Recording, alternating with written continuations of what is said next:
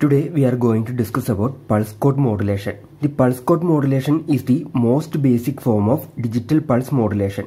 ഈ ഒരു pulse code modulation നമ്മൾ കൺസിഡർ ചെയ്യുമ്പോൾ അത് ജസ്റ്റ് ഒരു മോഡുലേഷൻ ടെക്നിക് അല്ല ഏറ്റവും ബേസിക് ആയിട്ടുള്ള ഒരു ഡിജിറ്റൽ കമ്മ്യൂണിക്കേഷൻ സിസ്റ്റമാണ് വരുന്നത് in P C M a message signal is represented by a sequence of coded pulses which is accomplished by representing the signal in discrete form in both time and amplitude ഈ ഒരു P C M സിസ്റ്റത്തിന്റെ transmitter side നമ്മൾ consider ചെയ്യുമ്പോൾ അവിടെ നമ്മുടെ information സിഗ്നലിനെ analogue ഫോമിലുള്ള information സിഗ്നലിനെ ആദ്യം നമ്മൾ discrete in time and discrete in amplitude ആയിട്ടുള്ള ആ ഒരു സിഗ്നൽ ഫോമിൽ റെപ്രസെന്റ് ചെയ്യും. ദെൻ അതിനെ എൻകോഡ് ചെയ്തിട്ട് സീറോസ് ആൻഡ് വൺസിന്റെ ഫോമിലുള്ള ഒരു സീക്വൻസിലേക്ക് നമ്മൾ കൺവേർട്ട് ചെയ്യും. ദെൻ ആ സീറോസ് ആൻഡ് വൺസിന്റെ ഫോമിലുള്ള ആ ഒരു സീക്വൻസിനെ നമ്മൾ കോഡഡ് പൾസ് അല്ലെങ്കിൽ P C M signal use ചെയ്തിട്ട് റെപ്രസെന്റ് ചെയ്തിട്ട് ഡെസ്റ്റിനേഷനിലേക്ക് അത് നമ്മൾ ട്രാൻസ്മിറ്റ് ചെയ്യും. ദെൻ ഈ ട്രാൻസ്മിഷൻ പാത്ത് വഴി നമ്മുടെ ഈ സിഗ്നൽ ട്രാവൽ ചെയ്യുമ്പോൾ അവിടെ ഡിസ്റ്റോഷൻസ് ഒക്കെ ചെയ്യുന്നുണ്ട്. ആ ഡിസ്റ്റോഷൻസിനെ ഡീൽ ചെയ്യാൻ വേണ്ടിയിട്ട് നമ്മൾ റീജനറേറ്റീവ് റിപ്പീറ്റേഴ്സ് സേട്ടൺ സ്പേസിംഗിൽ ഈ ട്രാൻസ്മിഷൻ പാത്തിൽ നമ്മൾ യൂസ് ചെയ്യണം. ദെൻ റിസീവർ സൈഡിൽ റിസീവ് ചെയ്യുന്ന ആ സിഗ്നലിൽ നിന്ന് ഒറിജിനൽ ഇൻഫർമേഷൻ സിഗ്നൽ റീകൺസ്ട്രക്ട് ചെയ്തെടുക്കും.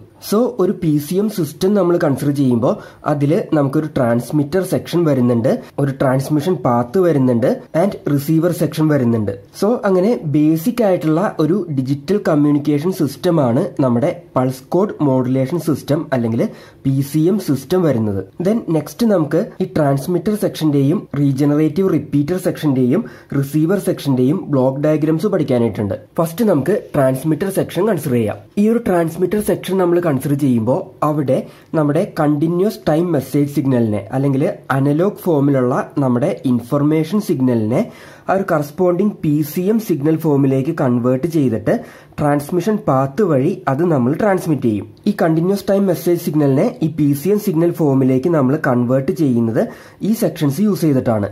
ഒരു ലോ പാസ് ഫിൽറ്റർ വന്നിട്ടുണ്ട് സാമ്പിളർ വന്നിട്ടുണ്ട് ക്വാണ്ടൈസർ വന്നിട്ടുണ്ട് എൻകോഡർ വന്നിട്ടുണ്ട്. ഇതിൽ സാമ്പിളറിന്റെ കേസ് നമ്മൾ ഓൾറെഡി പഠിച്ചിട്ടുള്ളതാണ്.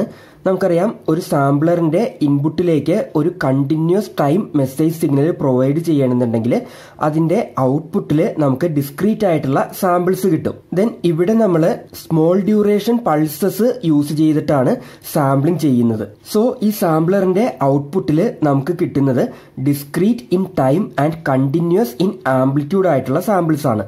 ദെൻ ഇവിടെ സാമ്പിളറിൽ നമ്മൾ യൂസ് ചെയ്യുന്ന സാമ്പിളിംഗ് റേറ്റ് എന്ന് പറയുന്നത് നൈക്വസ്റ്റ് റേറ്റിനേലും ഗ്രേറ്റർ ആയിട്ടുള്ള ആ ഒരു റേറ്റ് ആണ് നമ്മളിവിടെ സാമ്പിളിങ്ങിന് വേണ്ടിയിട്ട് യൂസ് ചെയ്യുന്നത്. നമ്മളുടെ അനലോഗ് സിഗ്നലിൽ വന്നിരിക്കുന്ന മാക്സിമം ഫ്രീക്വൻസി കമ്പോണന്റ് ഡബ്ല്യു ആണെങ്കിൽ നൈക്വസ്റ്റ് സാമ്പിളിംഗ് റേറ്റ് എന്ന് പറയുന്നത് ടു ഡബ്ല്യു ആണ്. ആ ടു ഡബ്ല്യു റേറ്റിനേലും ഗ്രേറ്റർ ആയിട്ടുള്ള ഒരു റേറ്റ് ആയിരിക്കും നമ്മൾ ഇവിടെ സാമ്പിളിങ്ങിന് വേണ്ടിയിട്ട് നോർമലി യൂസ് ചെയ്യുന്നത്. ദെൻ ഇവിടെ ഈ ലോ പാസ് ഫിൽട്ടർ സെക്ഷൻ ഒരു ആന്റി ഏലിയാസിംഗ് ഫിൽട്ടർ ആയിട്ടാണ് ആക്ട് ചെയ്യുന്നത്.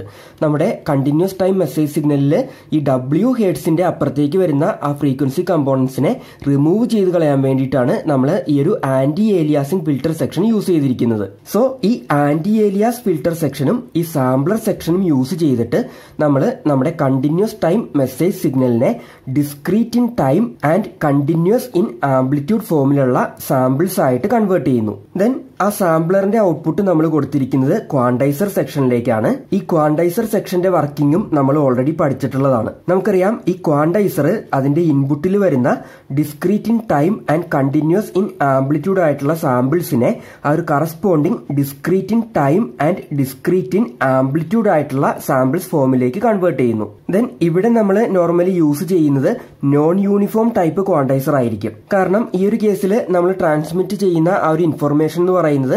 ആക്ച്വലി സ്പീച്ച് സിഗ്നൽസ് ഒക്കെയാണ് വരുന്നത്. സോ ആ സ്പീച്ച് സിഗ്നൽസിന്റെ കേസിൽ നമ്മൾ യൂസ് ചെയ്യുന്ന ക്വാണ്ടൈസർ എന്ന് പറയുന്നത് നോൺ യൂണിഫോം ടൈപ്പ് ക്വാണ്ടൈസർ ആയിരിക്കും. ദെൻ ഈ ക്വാണ്ടൈസറിന്റെ ഔട്ട്പുട്ടിൽ നമുക്ക് discrete in time and discrete in amplitude ആയിട്ടുള്ള സിഗ്നൽസ് കിട്ടുന്നു. അതിനെ നമ്മൾ എൻകോഡറിന്റെ ഇൻപുട്ടിലേക്കാണ് കൊടുത്തിരിക്കുന്നത്. ഈ എൻകോഡർ സെക്ഷൻ ഈ discrete in time and discrete in amplitude ആയിട്ടുള്ള സിഗ്നൽസിനെ ബൈനറി കോഡ് യൂസ് ചെയ്തിട്ട് റെപ്രസെന്റ് ചെയ്യുന്നു. സോ ഈ എൻകോഡറിന്റെ ഔട്ട്പുട്ടിൽ നമുക്ക് കിട്ടുന്നത് സീറോസ് ആൻഡ് വൺസിന്റെ ഫോമിലുള്ള ആ ഒരു ബൈനറി സീക്വൻസ് ആയിരിക്കും. ഈ എൻകോഡർ എങ്ങനെയാണ് ഈ ഒരു കൺവേർഷൻ നടത്തുന്നത് എന്ന് വെച്ച് കഴിഞ്ഞാൽ ഈ ക്വാണ്ടൈസറിന്റെ ഔട്ട്പുട്ടിൽ വരുന്ന ആ ഡിസ്ക്രീറ്റ് ആംപ്ലിറ്റ്യൂഡിനെ ഈ എൻകോഡർ കറസ്പോണ്ടിങ് ബൈനറി കോഡ് വെച്ചിട്ട് റെപ്രസെന്റ് ചെയ്യും. നമുക്കറിയാം ഈ ക്വാണ്ടൈസറിന്റെ ഔട്ട്പുട്ട് നമ്മൾ കൺസിഡർ ചെയ്യുമ്പോൾ ക്വാണ്ടൈസറിന്റെ ഔട്ട്പുട്ടിൽ നമുക്ക് ഡിസ്ക്രീറ്റ് ലെവൽസ് ആണ് വരുന്നത്. ഇൻപുട്ടിൽ വന്നിരിക്കുന്ന ആ ഒരു കണ്ടിന്യൂസ് ആംപ്ലിറ്റ്യൂഡ് റേഞ്ച് വരുന്ന ആ ഒരു സാമ്പിൾസിനെ ഡിസ്ക്രീറ്റ് ലെവൽ ആംപ്ലിറ്റ്യൂഡിലുള്ള ആ ഒരു സാമ്പിൾ ആയിട്ട് ക്വാണ്ടൈസർ കൺവേർട്ട് ചെയ്യുന്നു എന്നുള്ളത് നമുക്കറിയാം. ആ ഒരു കൺവേർഷന് വേണ്ടിയിട്ട് quantizer different discrete levels use ചെയ്യുന്നുണ്ട്. ഇപ്പോ എയ്റ്റ് ഡിസ്ക്രീറ്റ് ലെവൽസ് യൂസ് ചെയ്യുന്ന ഒരു ക്വാണ്ടൈസർ ആണ് നമ്മൾ കൺസിഡർ ചെയ്യുന്നതെങ്കിൽ ആ എയ്റ്റ് ഡിസ്ക്രീറ്റ് ലെവൽസിനെ നമുക്ക് ത്രീ ബിറ്റ് കോഡ് വെച്ചിട്ട് റെപ്രസെന്റ് ചെയ്യാനായിട്ട് പറ്റും. ഓക്കെ അതായത് സീറോ എന്ന് പറയുന്ന ഒരു ഡിസ്ക്രീറ്റ് ലെവലിൽ നമുക്ക് സീറോ സീറോ സീറോ എന്ന് പറയുന്ന ഒരു കോഡ് വെച്ചിട്ട് റെപ്രസെന്റ് ചെയ്യാനായിട്ട് പറ്റും. ദെൻ വൺ എന്ന് പറയുന്ന ഡിസ്ക്രീറ്റ് ലെവലിന് നമുക്ക് സീറോ സീറോ വൺ എന്ന് പറയുന്ന ബൈനറി കോഡ് വെച്ചിട്ട് റെപ്രസെന്റ് ചെയ്യാനായിട്ട് പറ്റും. അങ്ങനെ സീറോ സീറോ സീറോ തുടങ്ങി വൺ വൺ വൺ വരെയുള്ള ബൈനറി കോഡ്സ് യൂസ് ചെയ്തിട്ട് നമുക്ക് ഈ സീറോ ടു സെവൻ ഡിസ്ക്രീറ്റ് ലെവൽസിനെ റെപ്രസെന്റ് ചെയ്യാനായിട്ട് പറ്റും. സോ ഈ എൻകോഡർ ആ ഒരു ഓപ്പറേഷനാണ് ചെയ്യുന്നത്. ഇനി നമ്മൾ യൂസ് ചെയ്തിരിക്കുന്ന ക്വാണ്ടൈസർ എന്ന് പറയുന്നത് സിക്സ്റ്റീൻ ഡിഫറെന്റ് ഡിസ്ക്രീറ്റ് ലെവൽസ് വരുന്ന ക്വാണ്ടൈസർ ആണെന്ന് വിചാരിക്കുക. അതായത് സീറോ തുടങ്ങി ഫിഫ്റ്റീൻ വരെയുള്ള ഡിസ്ക്രീറ്റ് ലെവൽസ് ആണ് ഈ ഒരു ക്വാണ്ടൈസർ യൂസ് ചെയ്യുന്നത് എന്ന് വിചാരിക്കുക. ദെൻ ആ സിക്സ്റ്റീൻ ഡിഫറെന്റ് ഡിസ്ക്രീറ്റ് ലെവൽസിനെ റെപ്രസെന്റ് ചെയ്യാനായിട്ട് നമുക്ക് ഫോർ ബിറ്റ് കോഡ് യൂസ് ചെയ്യാം. സോ നമ്മൾ ഒരു ഫോർ ബിറ്റ് എൻകോഡർ ആയിരിക്കും അവിടെ യൂസ് ചെയ്യുന്നത്. ദെൻ ആ ഫോർ ബിറ്റ് എൻകോഡർ നമ്മുടെ ഡിസ്ക്രീറ്റ് ലെവൽസിനെ ആ ഒരു കറസ്പോണ്ടിങ് ബൈനറി കോഡ് ഫോമിലേക്ക് കൺവേർട്ട് ചെയ്യുന്നു. അതായത് സീറോ ലെവലാണ് ഇൻപുട്ടിൽ വരുന്നതെങ്കിൽ അതിനെ സീറോ സീറോ സീറോ സീറോ എന്ന് പറയുന്ന ബൈനറി കോഡ് വെച്ചിട്ട് റെപ്രസെന്റ് ചെയ്യും. ഇനി ഇൻപുട്ടിൽ വന്നിരിക്കുന്ന ആ ഒരു സാമ്പിളിന്റെ ഡിസ്ക്രീറ്റ് ലെവൽ എന്ന് പറയുന്നത് ത്രീ ആണെങ്കിൽ അതിനെ സീറോ സീറോ വൺ വൺ എന്ന് പറയുന്ന ബൈനറി കോഡ് വെച്ചിട്ട് ഇത് റീപ്ലേസ് ചെയ്യും. ഈ ക്വാണ്ടൈസറിന്റെ ഔട്ട്പുട്ട് നമ്മൾ കൺസിഡർ ചെയ്യുമ്പോൾ അവിടെ എഫ് എസ് സെപ്പറേഷനിലാണ് ആ സാമ്പിൾസ് വന്നിരിക്കുന്നത് എന്നുള്ളത് നമുക്കറിയാം. സോ അതിന്റെ പൊസിഷൻ ഏതാണെന്നുള്ളത് നമുക്ക് അറിയാം. ദെൻ അതിന്റെ ആംപ്ലിറ്റ്യൂഡ് ലെവലിനെ നമ്മൾ ഈ എൻകോഡർ യൂസ് ചെയ്തിട്ട് കറസ്പോണ്ടിങ് ബൈനറി ഫോമിൽ നമ്മൾ റെപ്രസെന്റ് ചെയ്യും. ഓക്കെ ഒരു എക്സാമ്പിൾ ആയിട്ട് നമുക്ക് ഒരു ഫോർ ബിറ്റ് എൻകോഡറിന്റെ കേസ് കൺസിഡർ ചെയ്യാം. So consider this four bits per sample encoder ഒരു സാമ്പിളിന് കറസ്പോണ്ടിങ് ആയിട്ട് ഒരു ഫോർ ബിറ്റ് പ്രൊവൈഡ് ചെയ്യുന്ന ഒരു എൻകോഡർ ആണ് നമ്മളിവിടെ എക്സാമ്പിൾ ആയിട്ട് കൺസിഡർ ചെയ്തിരിക്കുന്നത്. സോ ഈ എൻകോഡർ ഓരോ ഡിസ്ക്രീറ്റ് ലെവലിനെയും അതിന്റെ കറസ്പോണ്ടിങ് ബൈനറി കോഡ് വെച്ചിട്ട് റെപ്രസെന്റ് ചെയ്യും. ക്വാണ്ടൈസറിന്റെ ഔട്ട്പുട്ടിൽ വന്നിരിക്കുന്ന ആ സാമ്പിൾസിനെ കൺസിഡർ ചെയ്തിട്ട് ആ സാമ്പിളിന്റെ ആംപ്ലിറ്റ്യൂഡ് ഏത് ഡിസ്ക്രീറ്റ് ലെവലിലാണെന്നുള്ളത് നോക്കും. ദെൻ ആ ഡിസ്ക്രീറ്റ് വാല്യൂവിനെ അതിന്റെ കറസ്പോണ്ടിങ് ബൈനറി കോഡ് വെച്ചിട്ട് എൻകോഡർ റീപ്ലേസ് ചെയ്യും. സോ ഞാൻ നേരത്തെ പറഞ്ഞതുപോലെ ഇപ്പൊ ക്വാണ്ടൈസറിന്റെ ഔട്ട്പുട്ടിൽ സീറോ ഡിസ്ക്രീറ്റ് ലെവലാണ് വന്നിരിക്കുന്നതെങ്കിൽ അതിനെ zero zero zero zero zero എന്ന് പറയുന്ന ഈ ഒരു ബൈനറി കോഡ് വെച്ചിട്ട് റീപ്ലേസ് ചെയ്യും.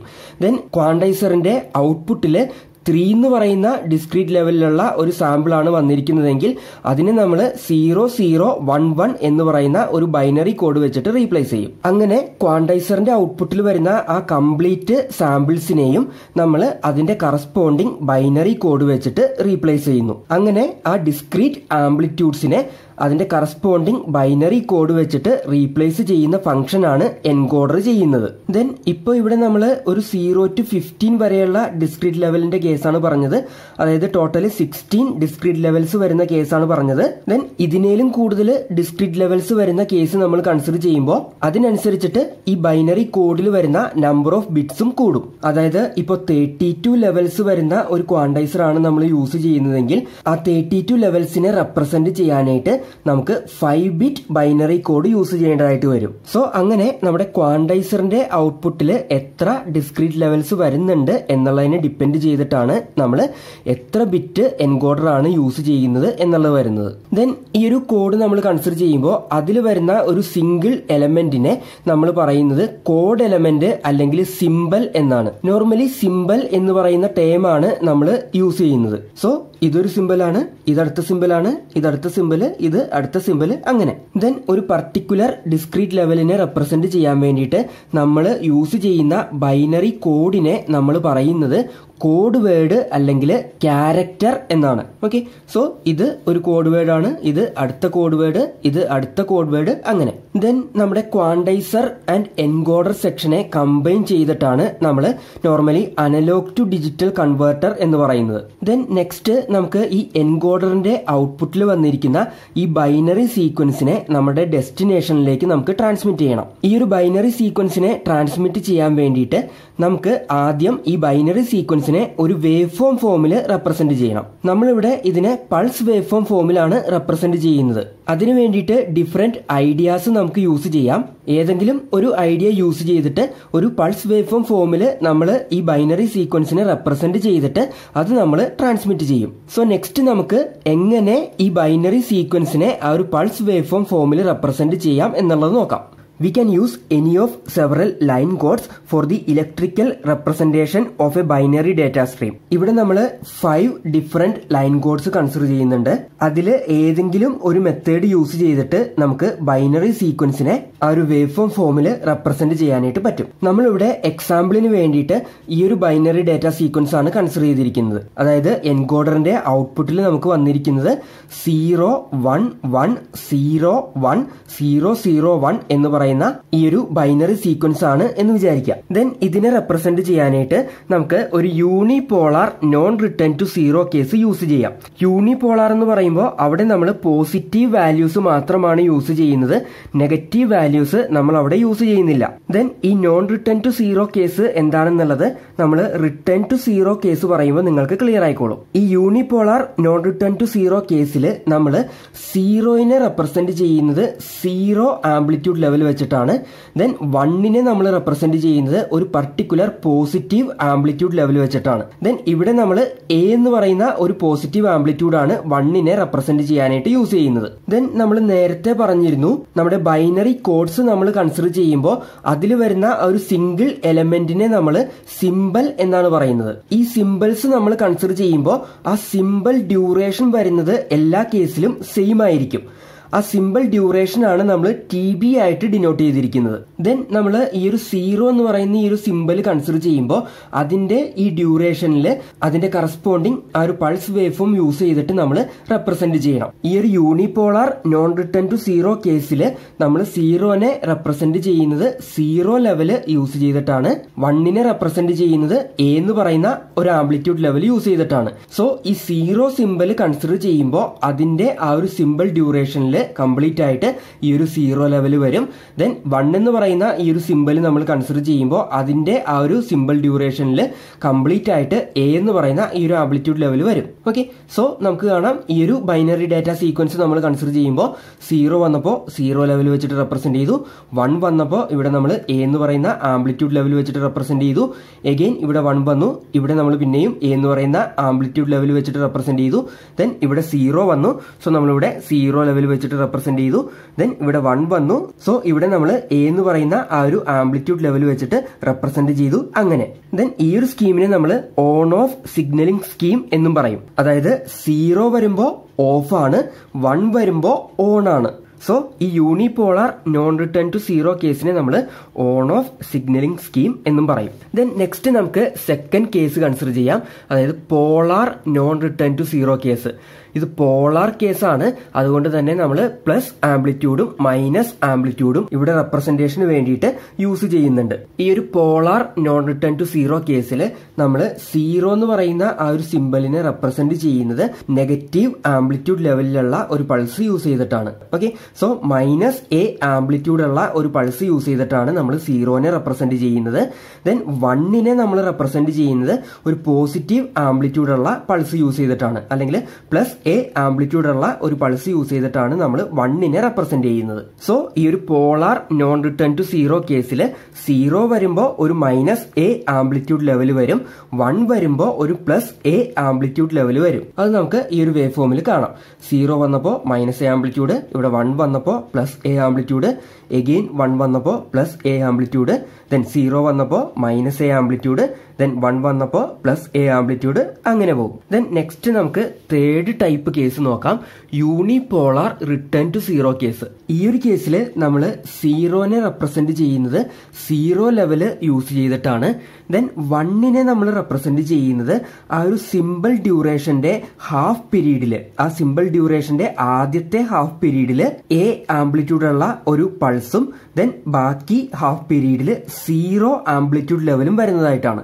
സോ അതുകൊണ്ടാണ് നമ്മൾ ഇതിനെ റിട്ടേൺ ടു സീറോ കേസ് എന്ന് പറയുന്നത്. വണ്ണിനെ റെപ്രസെന്റ് ചെയ്യുന്ന ഈ ഒരു കേസ് നമ്മൾ നോക്കുമ്പോൾ അവിടെ പകുതിക്ക് വെച്ചിട്ട് അത് സീറോയിലേക്ക് റിട്ടേൺ ചെയ്യുന്നുണ്ട്. ദെൻ യൂണിപോളാർ കേസാണ് വന്നിരിക്കുന്നത്. ഇവിടെ നമ്മൾ പോസിറ്റീവ് ആംപ്ലിറ്റ്യൂഡ് ലെവൽസ് മാത്രമേ യൂസ് ചെയ്യുന്നുള്ളൂ. ഓക്കെ സോ ഈ ഒരു unipolar return to zero case നമ്മൾ കൺസിഡർ ചെയ്യുമ്പോൾ ഈ സീറോ ഡേറ്റ വരുമ്പോൾ അതിനെ നമ്മൾ സീറോ ലെവൽ വെച്ചിട്ട് റെപ്രസെന്റ് ചെയ്യുന്നു. വൺ ഡേറ്റ വരുമ്പോൾ ആ ഒരു സിമ്പിൾ പീരീഡിന്റെ ഹാഫ് ഡ്യൂറേഷൻ നേരത്തേക്ക് ആദ്യത്തെ ഹാഫ് ഡ്യൂറേഷൻ നേരത്തേക്ക് എ ആംപ്ലിറ്റ്യൂഡ് അല്ലെങ്കിൽ ഒരു പോസിറ്റീവ് ആംപ്ലിറ്റ്യൂഡ് ഉള്ള ഒരു പൾസും ദെൻ ബാക്കി പകുതി ഡ്യൂറേഷൻ നേരത്തേക്ക് സീറോ ലെവലും വെച്ചിട്ട് നമ്മൾ റെപ്രസെന്റ് ചെയ്യുന്നു. ദെൻ എഗെയിൻ ഇവിടെ വൺ വന്നപ്പോൾ ആദ്യത്തെ ആ ഒരു ഹാഫ് സിമ്പിൾ ഡ്യൂറേഷൻ നേരത്തേക്ക് നമ്മൾ എ എന്ന് പറയുന്ന ആംപ്ലിറ്റ്യൂഡ് ലെവലും ദെൻ ബാക്കി പകുതി നേരത്തേക്ക് നമ്മൾ സീറോ ലെവലും യൂസ് ചെയ്തു. ദെൻ സീറോ വന്നപ്പോൾ നമ്മൾ അതിനെ സീറോ ലെവൽ വെച്ചിട്ട് റെപ്രസെന്റ് ചെയ്തു. ദെൻ എഗെയിൻ വൺ വന്നപ്പോൾ നമ്മുടെ ഹാഫ് സിമ്പിൾ ഡ്യൂറേഷൻ നേരത്തേക്ക് നമ്മൾ എ എന്ന് പറയുന്ന ആ ഒരു ആംപ്ലിറ്റ്യൂഡ് ലെവലിലുള്ള ആ ഒരു പൾസ് വെച്ചിട്ട് റെപ്രസെന്റ് ചെയ്തു. ദെൻ ബാക്കി പകുതി ഡ്യൂറേഷൻ നേരത്തേക്ക് നമ്മൾ സീറോ ലെവൽ വെച്ചിട്ട് റെപ്രസെന്റ് ചെയ്തു. ദെൻ എഗെയിൻ സീറോ എന്ന് പറയുന്ന ഡേറ്റ വന്നപ്പോൾ അതിനെ നമ്മൾ സീറോ ലെവൽ വെച്ചിട്ട് റെപ്രസെന്റ് ചെയ്തു. ദെൻ എഗെയിൻ സീറോ വന്നപ്പോൾ അതിനെയും നമ്മൾ സീറോ ലെവൽ വെച്ചിട്ട് റെപ്രസെന്റ് ചെയ്തു. ദെൻ വൺ എന്ന് പറയുന്ന ഈ ഒരു ഡേറ്റ ഇവിടെ വന്നപ്പോൾ അതിനെ നമ്മൾ ഈ പകുതി ഡ്യൂറേഷൻ നേരത്തേക്ക് പോസിറ്റീവ് ആംപ്ലിറ്റ്യൂഡ് ഉള്ള പൾസും ബാക്കി പകുതി ഡ്യൂറേഷൻ നേരത്തേക്ക് സീറോ ആംപ്ലിറ്റ്യൂഡ് ലെവലും വെച്ചിട്ട് റെപ്രസെന്റ് ചെയ്തു. ദെൻ നെക്സ്റ്റ് ടൈപ്പ് എന്ന് പറയുന്നത് ബൈപോളാർ റിട്ടേൺ ടു സീറോ കേസാണ് ബൈപോളാർ കേസാണ്. സോ ഇവിടെ നമ്മൾ പോസിറ്റീവ് ആംപ്ലിറ്റ്യൂഡും നെഗറ്റീവ് ആംപ്ലിറ്റ്യൂഡും യൂസ് ചെയ്യുന്നുണ്ട്. ആക്ച്വലി നമ്മളിവിടെ മൂന്ന് ലെവൽ യൂസ് ചെയ്തിട്ടാണ് നമ്മുടെ ബൈനറി കോഡിനെ ഈ ഒരു പൾസ് വേവ് ഫോം ഫോമിലേക്ക് കൺവേർട്ട് ചെയ്യുന്നത്. നമ്മൾ പ്ലസ് എ ആംപ്ലിറ്റ്യൂഡ് യൂസ് ചെയ്യുന്നുണ്ട്. സീറോ ലെവൽ യൂസ് ചെയ്യുന്നുണ്ട്. Minus A amplitude level use ചെയ്യുന്നുണ്ട്. ദെൻ ഈ ഒരു കേസിൽ നമ്മൾ സീറോനെ റെപ്രസെന്റ് ചെയ്യുന്നത് എപ്പോഴും ഈ ഒരു സീറോ ലെവൽ യൂസ് ചെയ്തിട്ടാണ്. ദെൻ വണ്ണിനെ റെപ്രസെന്റ് ചെയ്യാനായിട്ട് നമ്മൾ രണ്ട് കേസുകൾ യൂസ് ചെയ്യുന്നുണ്ട്. ഒരു കേസ് എന്ന് പറയുന്നത് നമ്മുടെ സിമ്പിൾ ഡ്യൂറേഷന്റെ ആദ്യത്തെ ഹാഫ് ഡ്യൂറേഷൻ നേരത്തേക്ക് എ ആംപ്ലിറ്റ്യൂഡ് ഉള്ള ആ ഒരു പോസിറ്റീവ് പൾസും ബാക്കി ഹാഫ് ഡ്യൂറേഷൻ നേരത്തേക്ക് സീറോ വരുന്ന ഈ ഒരു കേസ് യൂസ് ചെയ്തിട്ട് നമുക്ക് റെപ്രസെന്റ് ചെയ്യാം. അതല്ലെങ്കിൽ നമ്മുടെ സിമ്പിൾ ഡ്യൂറേഷന്റെ ആദ്യത്തെ ഹാഫ് ഡ്യൂറേഷനിൽ മൈനസ് എ ആംപ്ലിറ്റ്യൂഡ് വരുന്ന ഈ ഒരു നെഗറ്റീവ് പൾസും ബാക്കി ഡ്യൂറേഷനിൽ സീറോ വരുന്ന ഈ ഒരു കേസും യൂസ് ചെയ്തിട്ട് നമുക്ക് റെപ്രസെന്റ് ചെയ്യാം. അത് നമ്മൾ ഓൾട്ടർനേറ്റ് ആയിട്ട് യൂസ് ചെയ്തു പോകും. ഓക്കെ അതായത് നമ്മുടെ ഡേറ്റ സീക്വൻസ് ഈ ഒരു ഫോമിലാണ് വരുന്നതെങ്കിൽ ആദ്യം സീറോ വന്നപ്പോൾ നമ്മൾ അതിനെ സീറോ ലെവൽ വെച്ചിട്ട് റെപ്രസെന്റ് ചെയ്തു. ദെൻ വൺ വന്നപ്പോൾ നമ്മൾ ആ ഒരു സിമ്പിൾ ഡ്യൂറേഷന്റെ പകുതി നേരത്തേക്ക് പോസിറ്റീവ് ആംപ്ലിറ്റ്യൂഡ് ഉള്ള പൾസും ബാക്കി പകുതി നേരത്തേക്ക് സീറോയും വരുന്ന ഈ ഒരു കേസ് വെച്ചിട്ട് റെപ്രസെന്റ് ചെയ്തു. ദെൻ അടുത്ത വൺ വരുമ്പോൾ അതിനെ നമ്മൾ റെപ്രസെന്റ് ചെയ്യുന്നത് ആ ഒരു സിമ്പിൾ ഡ്യൂറേഷന്റെ ആദ്യത്തെ ഹാഫ് ഡ്യൂറേഷനിൽ മൈനസ് എ ആംപ്ലിറ്റ്യൂഡ് വരുന്ന ആ ഒരു പൾസ് ആൻഡ് ദെൻ അടുത്ത ഹാഫ് ഡ്യൂറേഷനിൽ സീറോ ലെവൽ വരുന്ന ആ ഒരു കേസ് യൂസ് ചെയ്തിട്ടായിരിക്കും. ദെൻ നെക്സ്റ്റ് വന്നിരിക്കുന്നത് ആണ് അതിനെ നമ്മൾ സീറോ ലെവൽ വെച്ചിട്ട് റെപ്രസെന്റ് ചെയ്തു. ദെൻ അടുത്ത വൺ വരുമ്പോൾ നമ്മൾ പ്രീവിയസ് യൂസ് ചെയ്ത കേസിന്റെ ആ ഓപ്പോസിറ്റ് അതായത് ആദ്യത്തെ ഹാഫ് ഡ്യൂറേഷനിൽ പോസിറ്റീവ് ആംപ്ലിറ്റ്യൂഡും ദെൻ ബാക്കി പകുതി ഡ്യൂറേഷനിൽ സീറോയും വരുന്ന ആ ഒരു പൾസ് റെപ്രസെന്റേഷൻ വെച്ചിട്ട് നമ്മൾ ഇതിനെ റെപ്രസെന്റ് ചെയ്യുന്നു. ദെൻ സീറോ വരുമ്പോൾ സീറോ ലെവൽ വെച്ചിട്ട് റെപ്രസെന്റ് ചെയ്യുന്നു. ദെൻ അടുത്ത വൺ വന്നപ്പോൾ ഇതിന്റെ ഓപ്പോസിറ്റ് കേസ് അതായത് ആദ്യത്തെ ഹാഫ് ഡ്യൂറേഷനിൽ മൈനസ് എ ആംപ്ലിറ്റ്യൂഡും ബാക്കി ഹാഫ് ഡ്യൂറേഷനിൽ സീറോയും വരുന്ന ആ ഒരു കേസ് വെച്ചിട്ട് നമ്മൾ റെപ്രസെന്റ് ചെയ്യുന്നു. ഓക്കെ സോ ഈ ഒരു ബൈപ്പോളാർ റിട്ടേൺ ടു സീറോ കേസിൽ സീറോനെ നമ്മൾ എപ്പോഴും സീറോ ലെവൽ വെച്ചിട്ട് തന്നെ റെപ്രസെന്റ് ചെയ്യുന്നു. വണ്ണിനെ റെപ്രസെന്റ് ചെയ്യാനായിട്ട് നമ്മൾ ഓൾട്ടർനേറ്റ് ആയിട്ട് ഈ കേസുകൾ യൂസ് ചെയ്യുന്നു. Then last type line code നമ്മൾ കൺസിഡർ ചെയ്യുന്നത് സ്പ്ലിറ്റ് ഫേസ് അല്ലെങ്കിൽ മാഞ്ചസ്റ്റർ കോഡാണ് ഈ ഒരു കേസിൽ നമ്മൾ സീറോനെ റെപ്രസെന്റ് ചെയ്യുന്നത് ആ ഒരു സിമ്പിൾ ഡ്യൂറേഷന്റെ ഹാഫ് പീരീഡിൽ മൈനസ് എ ആംപ്ലിറ്റ്യൂഡ് ഉള്ള പൾസും ബാക്കി ഹാഫ് ഡ്യൂറേഷനിൽ പ്ലസ് എ ആംപ്ലിറ്റ്യൂഡ് ഉള്ള പൾസും വരുന്ന രീതിയിലാണ്. ഓക്കെ അതായത് സീറോനെ റെപ്രസെന്റ് ചെയ്യാനായിട്ട് നമ്മൾ ഈ ഒരു ഫോം ആണ് യൂസ് ചെയ്യുന്നത്. ആദ്യത്തെ ഹാഫ് ഡ്യൂറേഷനിൽ മൈനസ് എ ആംപ്ലിറ്റ്യൂഡ് ലെവലും അടുത്ത ഹാഫ് ഡ്യൂറേഷനിൽ പ്ലസ് എ ആംപ്ലിറ്റ്യൂഡ് ലെവലും ദെൻ വണ്ണിനെ റെപ്രസെന്റ് ചെയ്യാനായിട്ട് നമ്മൾ ആദ്യത്തെ ഹാഫ് ഡ്യൂറേഷനിൽ പോസിറ്റീവ് ആംപ്ലിറ്റ്യൂഡ് ലെവലും ബാക്കി ഹാഫ് ഡ്യൂറേഷനിൽ നെഗറ്റീവ് ആംപ്ലിറ്റ്യൂഡ് ലെവലും വരുന്ന ആ ഒരു കേസാണ് യൂസ് ചെയ്യുന്നത്. ഓക്കെ സോ സീറോ വരുമ്പോൾ ആദ്യത്തെ ഹാഫ് ഡ്യൂറേഷനിൽ നെഗറ്റീവ് ആംപ്ലിറ്റ്യൂഡ് ഉള്ള പൾസും അടുത്ത ഹാഫ് ഡ്യൂറേഷനിൽ പോസിറ്റീവ് ആംപ്ലിറ്റ്യൂഡ് ഉള്ള പൾസും യൂസ് ചെയ്യുന്നു. വൺ വരുമ്പോൾ നമ്മൾ ആദ്യത്തെ ഹാഫ് ഡ്യൂറേഷനിൽ ആ ഒരു പോസിറ്റീവ് ആംപ്ലിറ്റ്യൂഡ് ലെവലിലുള്ള പൾസും അടുത്ത ഹാഫ് ഡ്യൂറേഷനിൽ നെഗറ്റീവ് ആംപ്ലിറ്റ്യൂഡ് ലെവലിലുള്ള പൾസും നമ്മൾ യൂസ് ചെയ്യുന്നു. സോ ഈ ഒരു കേസ് കൺസിഡർ ചെയ്യുക നമ്മുടെ ബൈനറി ഡേറ്റ എന്ന് പറയുന്നത് zero one one zero one zero zero one ആണെങ്കിൽ ഈ സീറോനെ റെപ്രസെന്റ് ചെയ്യാനായിട്ട് നമ്മൾ ഈ പറഞ്ഞ രീതി യൂസ് ചെയ്യുന്നു. അതായത് ആ ഒരു സിമ്പിൾ ഡ്യൂറേഷന്റെ ആദ്യത്തെ ഹാഫ് ഡ്യൂറേഷനിൽ നമ്മൾ മൈനസ് എ ആംപ്ലിറ്റ്യൂഡ് ഉള്ള പൾസും അടുത്ത ഹാഫ് ഡ്യൂറേഷനിൽ പോസിറ്റീവ് എ ആംപ്ലിറ്റ്യൂഡ് ലെവലിലുള്ള പൾസ് യൂസ് ചെയ്യുന്നു. ദെൻ നെക്സ്റ്റ് വന്നിരിക്കുന്നത് വൺ ആണ്. സോ അതിനെ റെപ്രസെന്റ് ചെയ്യാനായിട്ട് നമ്മൾ ഈ ഒരു ഫോം യൂസ് ചെയ്യുന്നു. അതായത് നമ്മുടെ സിമ്പിൾ ഡ്യൂറേഷന്റെ ആദ്യത്തെ ഹാഫ് ഡ്യൂറേഷനിൽ പോസിറ്റീവ് ആംപ്ലിറ്റ്യൂഡ് പൾസും അടുത്ത ഹാഫ് ഡ്യൂറേഷനിൽ നെഗറ്റീവ് ആംപ്ലിറ്റ്യൂഡ് പൾസും നമ്മൾ യൂസ് ചെയ്യുന്നു. ദെൻ എഗെയിൻ വന്നിരിക്കുന്നത് വൺ ആണ്. സോ ഇവിടെയും നമ്മൾ ആദ്യത്തെ ഹാഫ് ഡ്യൂറേഷനിൽ പോസിറ്റീവ് പൾസും അടുത്ത ഹാഫ് ഡ്യൂറേഷനിൽ നെഗറ്റീവ് പൾസ് യൂസ് ചെയ്തു. ദെൻ നെക്സ്റ്റ് വന്നിരിക്കുന്നത് സീറോ ആണ്. സോ നമ്മൾ ആദ്യത്തെ ഹാഫ് ഡ്യൂറേഷനിൽ നെഗറ്റീവ് പൾസും അടുത്ത ഹാഫ് ഡ്യൂറേഷനിൽ പോസിറ്റീവ് പൾസും യൂസ് ചെയ്തു. ദെൻ നെക്സ്റ്റ് വന്നിരിക്കുന്നത് വൺ ആണ്. സോ ഇവിടെ നമ്മൾ ആദ്യത്തെ ഹാഫ് ഡ്യൂറേഷനിൽ പോസിറ്റീവ് പൾസും അടുത്ത ഹാഫ് ഡ്യൂറേഷനിൽ നെഗറ്റീവ് പൾസും യൂസ് ചെയ്തു. അത് അങ്ങനെ പോകും. ഓക്കെ? സോ നമ്മൾ ഇപ്പോൾ പഠിച്ച ഈ കേസുകളിൽ ഏതെങ്കിലും ഒരെണ്ണം യൂസ് ചെയ്തിട്ട് നമുക്ക് നമ്മുടെ ബൈനറി സീക്വൻസിനെ റെപ്രസെന്റ് ചെയ്യാനായിട്ട് പറ്റും. ദെൻ ഈ വേവ് ഫോം ആയിരിക്കും നമ്മൾ നമ്മുടെ ട്രാൻസ്മിറ്ററിൽ നിന്ന് റിസീവർ സെക്ഷനിലേക്ക് ട്രാൻസ്മിറ്റ് ചെയ്യുന്നത്. ദെൻ നെക്സ്റ്റ് നമുക്ക് ആ ട്രാൻസ്മിഷൻ പാത്തിൽ വരുന്ന ഇഫക്ട്സ് എന്തൊക്കെയാണ് എന്നുള്ളത് നോക്കാം. നമ്മളുടെ ട്രാൻസ്മിറ്റർ സൈഡിൽ നിന്ന് നമ്മൾ ട്രാൻസ്മിറ്റ് ചെയ്യുന്ന പി സി എം സിഗ്നൽ നമ്മുടെ ചാനൽ വഴി അല്ലെങ്കിൽ ട്രാൻസ്മിഷൻ പാത്ത് വഴി ട്രാവൽ ചെയ്യുമ്പോൾ അവിടെ ഡിഫറെന്റ് ഡിസ്റ്റോഷൻസ് ഒക്കർ ചെയ്യും. ദെൻ നമ്മളുടെ ട്രാൻസ്മിറ്ററിനും റിസീവറിനും ഇടയ്ക്ക് ഒരു ലാർജ് ഡിസ്റ്റൻസ് ഉണ്ടെങ്കിൽ റിസീവർ സൈഡിലേക്ക് ഈ ഒരു സിഗ്നൽ റീച്ച് ചെയ്യുമ്പോൾ അത് കംപ്ലീറ്റ് ആയിട്ട് ഡിസ്റ്റോർട്ടഡ് ആയിട്ട് പോയിട്ടുണ്ടായിരിക്കും. ആ ഒരു സിഗ്നലിൽ നിന്ന് നമുക്ക് ഒറിജിനൽ ഇൻഫർമേഷൻ റീകൺസ്ട്രക്ട് ചെയ്തെടുക്കാനായിട്ട് പറ്റില്ല. സോ ആ ഒരു പ്രോബ്ലം അവോയ്ഡ് ചെയ്യാൻ വേണ്ടിയിട്ട് നമ്മൾ ഈ ട്രാൻസ്മിഷൻ പാത്തിൽ ഇടയ്ക്കിടയ്ക്ക് റീജനറേറ്റീവ് റിപ്പീറ്റേഴ്സ് പ്ലേസ് ചെയ്യും. ഈ റീജനറേറ്റീവ് റിപ്പീറ്റേഴ്സ് നമ്മൾ കൺസിഡർ ചെയ്യുമ്പോൾ അത് ഡിസ്റ്റോർട്ടഡ് പി സി എം സിഗ്നലിനെ ആക്സെപ്റ്റ് ചെയ്തിട്ട് അതിൽ നിന്ന് ആ ഒരു original P C M signal അത് റീകൺസ്ട്രക്ട് ചെയ്യും. ദെൻ അങ്ങനെ റീകൺസ്ട്രക്ട് ചെയ്തെടുത്ത ആ ഒരു പി സി എം സിഗ്നൽ ആയിരിക്കും ഈ ഒരു റീജനറേറ്റീവ് റിപ്പീറ്റർ ട്രാൻസ്മിറ്റ് ചെയ്യുന്നത്. ദെൻ ഒരു റീജനറേറ്റീവ് റിപ്പീറ്റർ കഴിഞ്ഞിട്ട് ഒരു സേർട്ടൺ ഡിസ്റ്റൻസിൽ നമ്മൾ അടുത്ത റീജനറേറ്റീവ് റിപ്പീറ്റർ പ്ലേസ് ചെയ്തിട്ടുണ്ടായിരിക്കും. ആ റീജനറേറ്റീവ് റിപ്പീറ്റർ അതിന് മുമ്പത്തെ റീജനറേറ്റീവ് റിപ്പീറ്ററിൽ നിന്ന് ഒരു ലോങ് ഡിസ്റ്റൻസ് ട്രാവൽ ചെയ്ത് വന്നിരിക്കുന്ന ആ ഒരു ഡിസ്റ്റോർട്ടഡ് പി സി എം സിഗ്നലിനെ ആക്സെപ്റ്റ് ചെയ്തിട്ട് അതിൽ നിന്ന് original P C M signal reconstruct ചെയ്തെടുത്തിട്ട് എഗെയിൻ അടുത്ത സെക്ഷനിലേക്ക് അത് ട്രാൻസ്മിറ്റ് ചെയ്യും. സോ അങ്ങനെ നമ്പർ ഓഫ് റീജനറേറ്റീവ് റിപ്പീറ്റേഴ്സ് വഴി നമ്മുടെ P C M signal travel ചെയ്തിട്ട് അവസാനം അത് റിസീവർ സെക്ഷനിലേക്ക് എത്തും. നമുക്കിവിടെ ഈ ഒരു റീജനറേറ്റീവ് റിപ്പീറ്റർ എങ്ങനെയാണ് ഓപ്പറേറ്റ് ചെയ്യുന്നത് എന്നുള്ളത് പഠിക്കാനായിട്ടുണ്ട്. സോ നമുക്ക് ഇതിന്റെ ബ്ലോക്ക് ഡയഗ്രാം നെക്സ്റ്റ് നോക്കാം. ട്രാൻസ്മിഷൻ പാത്തിൽ നമ്മൾ യൂസ് ചെയ്യുന്ന റീജനറേറ്റീവ് റിപ്പീറ്ററിന്റെ ബ്ലോക്ക് ഡയഗ്രാം ആണ് ഈ കാണിച്ചിരിക്കുന്നത്. ഈ റീജനറേറ്റീവ് റിപ്പീറ്റർ യൂസ് ചെയ്തിട്ടാണ് നമ്മൾ ഡിസ്റ്റോർട്ടഡ് പി സി എം വേവിൽ നിന്ന് original P C M wave regenerate ചെയ്തെടുത്തിട്ട് നെക്സ്റ്റ് സെക്ഷനിലേക്ക് നമ്മൾ ട്രാൻസ്മിറ്റ് ചെയ്യുന്നത്. ദെൻ ഈ ഒരു റീജനറേറ്റീവ് റിപ്പീറ്റർ സെക്ഷൻ നമ്മൾ കൺസിഡർ ചെയ്യുമ്പോൾ അതിൽ മെയിൻ ആയിട്ട് മൂന്ന് സെക്ഷൻസ് ആണ് വരുന്നത്. ഒരു ആംപ്ലിഫയർ ഈക്വലൈസർ സെക്ഷൻ വന്നിട്ടുണ്ട് ഒരു ടൈമിംഗ് സർക്യൂട്ട് സെക്ഷൻ വന്നിട്ടുണ്ട് ദെൻ ഒരു ഡിസിഷൻ മേക്കിംഗ് സെക്ഷൻ വന്നിട്ടുണ്ട്. ഈ ഈക്വലൈസർ സെക്ഷൻ നമ്മൾ കൺസിഡർ ചെയ്യുമ്പോൾ the equalizer shapes the received pulses so as to compensate for the effects of amplitude and phase distortions produced by the non ideal transmission characteristics of the channel നമ്മുടെ channel വഴി P C M signal travel ചെയ്യുമ്പോൾ അവിടെ occur ചെയ്യുന്ന amplitude ഡിസ്റ്റോഷൻസിനെയും phase ഡിസ്റ്റോഷൻസിനെയും compensate ചെയ്യാൻ വേണ്ടിയിട്ടാണ് ഈ ഒരു ഈക്വലൈസർ സെക്ഷൻ നമ്മൾ യൂസ് ചെയ്തിരിക്കുന്നത്. സോ ഈ ഒരു ഈക്വലൈസർ സെക്ഷൻ ഫേസിലും അതേപോലെ തന്നെ ആംപ്ലിറ്റ്യൂഡിലും വന്നിരിക്കുന്ന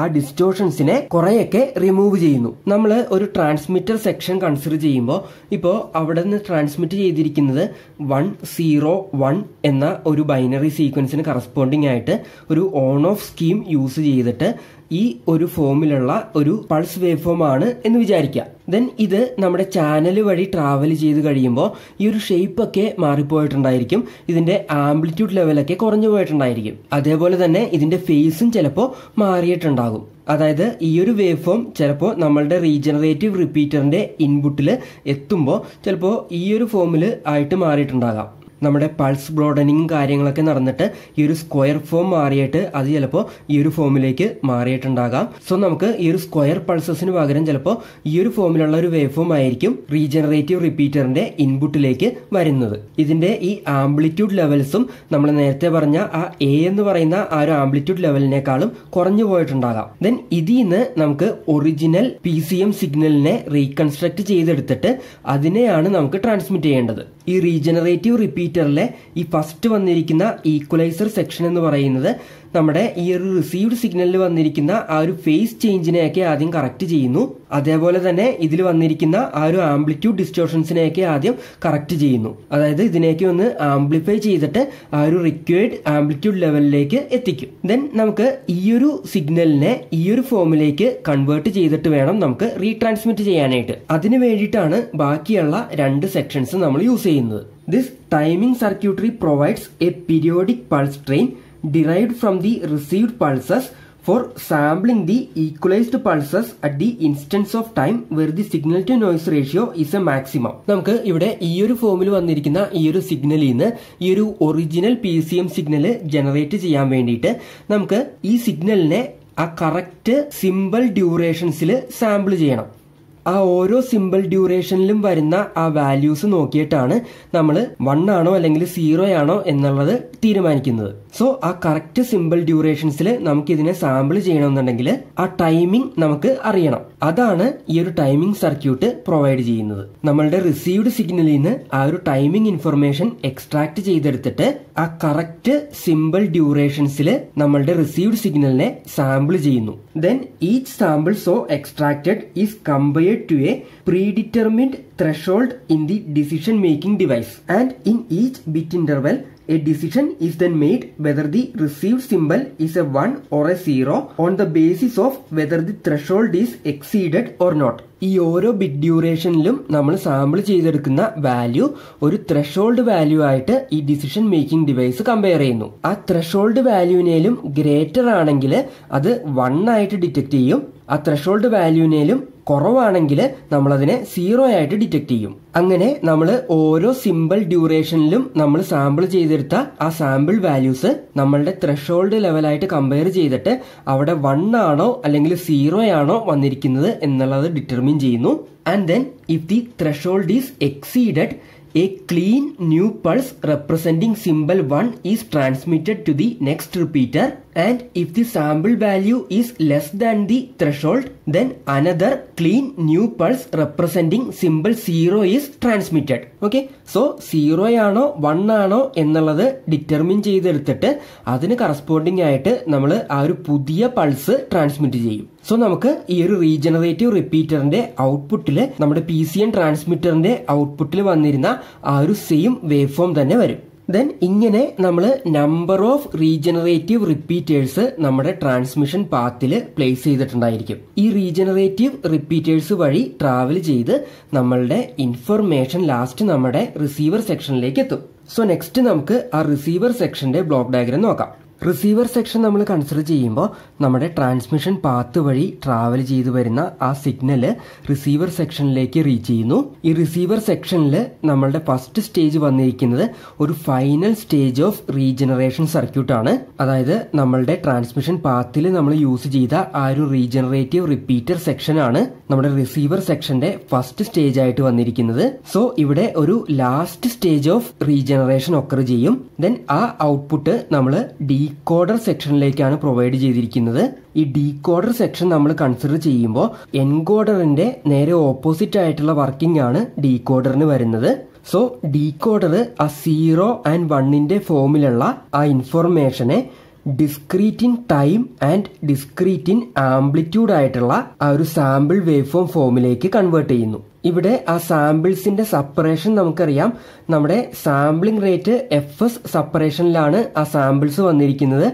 അല്ലെങ്കിൽ ടൈം ഡൊമൈൻ കേസ് നമ്മൾ പറയുമ്പോൾ നമ്മുടെ സാമ്പിളിംഗ് പീരീഡ് ടി എസിന്റെ ആ ഒരു സപ്പറേഷനിലാണ് ആ സാമ്പിൾസ് വന്നിരിക്കുന്നത്. ആ സാമ്പിളിംഗ് റേറ്റും സാമ്പിളിംഗ് പീരീഡും എന്താണെന്നുള്ളത് നമുക്കറിയാം. ദെൻ ആ സാമ്പിൾസിന്റെ ആംപ്ലിറ്റ്യൂഡ് ലെവൽ നമുക്ക് ഈ ഒരു ഡീകോഡിംഗ് വഴി കിട്ടും. സോ ഈ ഒരു ഡീകോഡർ നമ്മൾ കൺസിഡർ ചെയ്യുമ്പോൾ it converts the binary codes into corresponding discrete level അതായത് നമ്മൾ പഠിച്ചിട്ടുള്ള ആ ഒരു ബൈനറി ടു ഡെസിമൽ കൺവേർഷൻ അതാണ് ആക്ച്വലി ഈ ഒരു ഡീകോഡർ ചെയ്യുന്നത്. അതായത് നമ്മൾ സീറോ ആൻഡ് വൺ യൂസ് ചെയ്തിട്ട് റെപ്രസെന്റ് ചെയ്തിട്ടുള്ള ഓരോ ബൈനറി കോഡിനെയും അതിന്റെ കറസ്പോണ്ടിങ് ഡിസ്ക്രീറ്റ് വാല്യൂ ആയിട്ട് കൺവേർട്ട് ചെയ്യുന്നു. അത് നമ്മൾ എങ്ങനെയാണ് ചെയ്യുന്നത്? ഇപ്പൊ നമ്മുടെ ബൈനറി കോഡ് വന്നിരിക്കുന്നത് സീറോ സീറോ വൺ വൺ ആണെങ്കിൽ ആ ഓരോ സിമ്പലിനെയും നമ്മൾ അതിന്റെ പൊസിഷണൽ വെയിറ്റ് വെച്ചിട്ട് മൾട്ടിപ്ലൈ ചെയ്ത് അതെല്ലാം കൂടി ആഡ് ചെയ്തെടുക്കുമ്പോഴാണ് നമുക്ക് ആ ഒരു കറസ്പോണ്ടിങ് ഡെസിമൽ വാല്യൂ കിട്ടുന്നത്. സോ ആ ഒരു ഓപ്പറേഷനാണ് നമ്മുടെ ഡീകോഡർ സെക്ഷൻ ചെയ്യുന്നത്.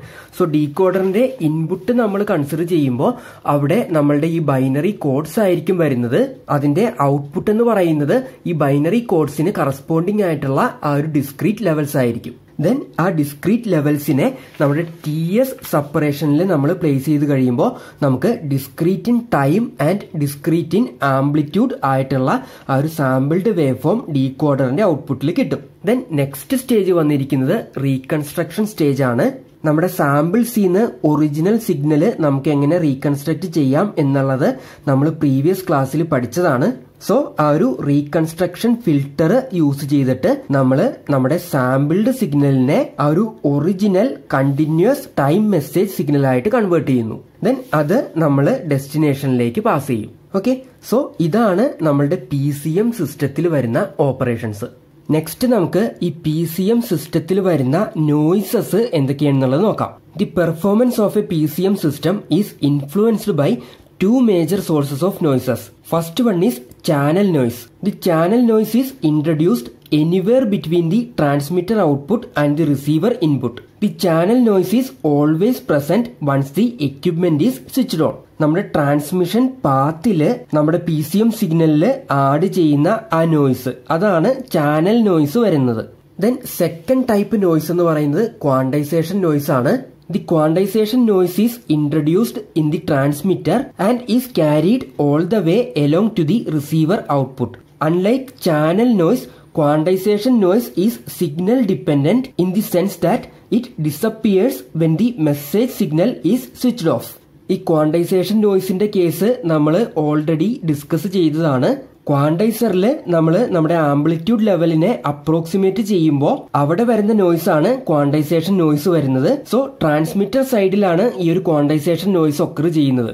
ദെൻ നമ്മൾ ഈ ഒരു ചാനൽ നോയ്സ് കൺസിഡർ ചെയ്യുമ്പോൾ അതിന്റെ മെയിൻ ഇഫക്റ്റ് എന്ന് പറയുന്നത് it introduces bit errors into the received signal അതായത് ഈ ഒരു ചാനൽ നോയ്സ് കാരണം നമ്മൾ ട്രാൻസ്മിറ്റ് ചെയ്ത ആക്ച്വൽ സീറോനെ റിസീവർ സൈഡിൽ ചിലപ്പോൾ വൺ ആയിട്ട് മിസ്റ്റേക്കിലി നമ്മൾ ഐഡന്റിഫൈ ചെയ്യും. അല്ലെങ്കിൽ നമ്മൾ ട്രാൻസ്മിറ്റ് ചെയ്ത വണ്ണിനെ റിസീവർ സൈഡിൽ നമ്മൾ സീറോ ആയിട്ട് ഡിറ്റക്ട് ചെയ്യും. അതിനെയാണ് നമ്മൾ ബിറ്ററർ എന്ന് പറയുന്നത്. നമ്മുടെ ചാനൽ വഴി നമ്മുടെ ആ ഒരു പൾസ് വേവ് ഫോം ട്രാവൽ ചെയ്യുമ്പോൾ അതിൽ നോയ്സ് സിഗ്നൽ ആഡ് ചെയ്യുന്നത് കാരണം ചിലപ്പോൾ ആ ഒരു പൾസ് വേവ് ഫോമിന്റെ ആംപ്ലിറ്റ്യൂഡ് ഇൻക്രീസ് ചെയ്യാം അല്ലെങ്കിൽ ഡിക്രീസ് ചെയ്യാം. നമ്മൾ ചാനൽ നോയ്സസ് കൺസിഡർ ചെയ്യുന്നത് A W G N noises ആയിട്ടാണ്. സോ ആ അഡിക്റ്റീവ് നോയ്സസ് കാരണം നമ്മുടെ പൾസ് വേവ് ഫോമിന്റെ ആംപ്ലിറ്റ്യൂഡ് ചിലപ്പോൾ കൂടാം അല്ലെങ്കിൽ കുറയാം. ദെൻ ഇപ്പൊ നമ്മൾ സീറോ ട്രാൻസ്മിറ്റ് ചെയ്തിട്ട് ഈ ചാനൽ നോയ്സ് കാരണം അതിന്റെ ആംപ്ലിറ്റ്യൂഡ് കൂടിക്കഴിഞ്ഞാൽ ചിലപ്പോൾ നമ്മൾ അതിനെ റിസീവർ സൈഡിൽ വൺ ആയിട്ട് ഡിറ്റക്ട് ചെയ്യും.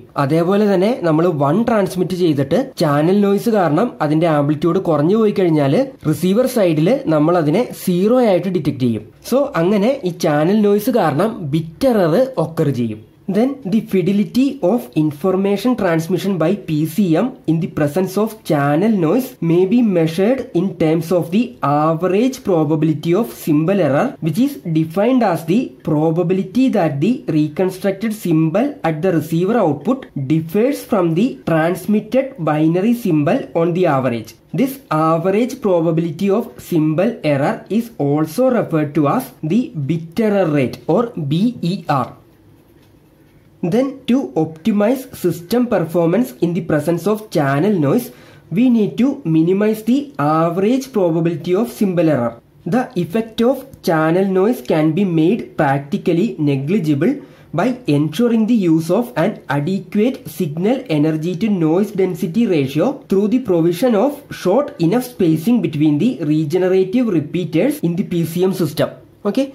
Regenerative repeaters നമ്മൾ ക്ലോസ് ആയിട്ട് പ്ലേസ് ചെയ്ത് കഴിഞ്ഞാൽ നമുക്ക് ഈ ചാനൽ നോയ്സിനെ റിമൂവ് ചെയ്യാനായിട്ട് പറ്റും. കാരണം റീജനറേറ്റീവ് റിപ്പീറ്റേഴ്സിൽ ആ ഡിസ്റ്റോർട്ടഡ് സിഗ്നലിൽ നിന്ന് ഒറിജിനൽ സിഗ്നൽ റീകൺസ്ട്രക്ട് ചെയ്തെടുത്തിട്ടാണ് നമ്മൾ എഗെയിൻ ട്രാൻസ്മിറ്റ് ചെയ്യുന്നത്. സോ നമ്മൾ ഈ റീജനറേറ്റീവ് റിപ്പീറ്റേഴ്സ് ക്ലോസ് ആയിട്ട് പ്ലേസ് ചെയ്യണമെന്നുണ്ടെങ്കിൽ ഈ ചാനൽ വഴി നമ്മുടെ P C M signal travel ചെയ്യുമ്പോൾ അതിൽ ആഡ് ചെയ്യുന്ന ആ ചാനൽ നോയ്സസിനെയൊക്കെ ഈ റീജനറേറ്റീവ് റിപ്പീറ്റേഴ്സ് റിമൂവ് ചെയ്തോളും സോ അങ്ങനെ നമുക്ക് ഈ ചാനൽ നോയ്സിനെ അപ്രോക്സിമേറ്റ്ലി സീറോ ആക്കാനായിട്ട് പറ്റും and in such a situation the performance of the P C M system is essentially limited by quantization noise acting alone. Then we know the quantization noise is essentially under the designer's control. It can be made negligibly small through the use of an adequate number of representation levels in the quantizer and the selection of a compounding strategy matched to the characteristics of the type of message signal being transmitted. Okay so നമ്മൾ regenerative repeaters close ആയിട്ട് place ചെയ്ത് കഴിയുമ്പോൾ channel നോയ്സിനെ നമുക്ക് remove ചെയ്യാനായിട്ട് പറ്റും. പിന്നെ ബാക്കി വരുന്നത് ക്വാണ്ടൈസേഷൻ നോയ്സ് ആണ്. ഈ ക്വാണ്ടൈസേഷൻ നോയ്സിനെ റിമൂവ് ചെയ്യാനായിട്ട് അല്ലെങ്കിൽ ഇതിനെ റെഡ്യൂസ് ചെയ്യാനായിട്ട് എന്ത് ചെയ്യണം എന്നുള്ളത് ഓൾറെഡി നമ്മൾ ലാസ്റ്റ് ക്ലാസ്സിൽ പറഞ്ഞതാണ്. ക്വാണ്ടൈസറിൽ നമ്മൾ കൂടുതൽ number of representation levels use ചെയ്യണമെന്നുണ്ടെങ്കിൽ ക്വാണ്ടൈസേഷൻ നോയ്സ് അവിടെ കുറയും. അത് നമ്മൾ signal to quantization noise ratio ഇക്വേഷനൊക്കെ വെച്ചിട്ട് പറഞ്ഞതാണ്. സോ അങ്ങനെ നമ്മൾ ക്വാണ്ടൈസേഷന് വേണ്ടിയിട്ട് യൂസ് ചെയ്യുന്ന ആ ഡിസ്ക്രീറ്റ് ലെവൽസ് ക്ലോസ് ആയിട്ട് ചൂസ് ചെയ്ത് കഴിയുമ്പോൾ ഈ ഒരു ക്വാണ്ടൈസേഷൻ നോയ്സിനെയും നമുക്ക് റെഡ്യൂസ് ചെയ്യാനായിട്ട് പറ്റും. സോ അങ്ങനെ ഈ നോയ്സസിനെയൊക്കെ റിമൂവ് ചെയ്ത് കഴിഞ്ഞിട്ട് നമുക്ക് റിസീവർ സൈഡിൽ നമ്മളുടെ ഒറിജിനൽ കണ്ടിന്യൂസ് ടൈം മെസ്സേജ് സിഗ്നലിനെ പ്രോപ്പറായിട്ട് റീകൺസ്ട്രക്ട് ചെയ്ത് എടുക്കാനായിട്ട് പറ്റും.